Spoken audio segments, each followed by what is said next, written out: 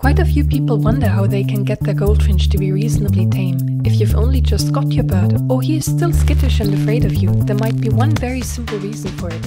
So today I'm going to talk about one thing you should never do as long as your bird is afraid of you.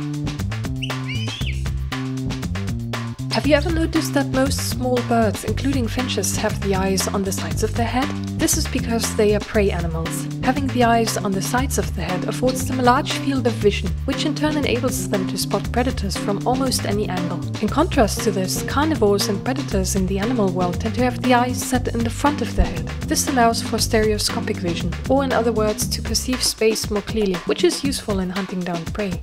Now what does this have to do with taming your goldfinch, you ask? Well, quite simply. When you face your bird directly looking straight at him, your bird doesn't see a friendly human. He sees this.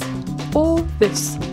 His fear of predators is deeply ingrained and instinctually linked to a set of parallel eyes, so if your bird is constantly scared of you, it's a good idea to not face him directly. In the beginning it is much better to always only look at him with a kind of side eye and your face actually slightly turned away from him. This way you can avoid triggering his innate fear of you as a predator and he will start trusting you much faster. Once your goldfinch is reasonably tame, you can of course slowly get him used to you facing him directly. If you do this slowly enough, say over the course of a few days or weeks, he'll eventually learn that even your set of two parallel predator eyes won't harm him.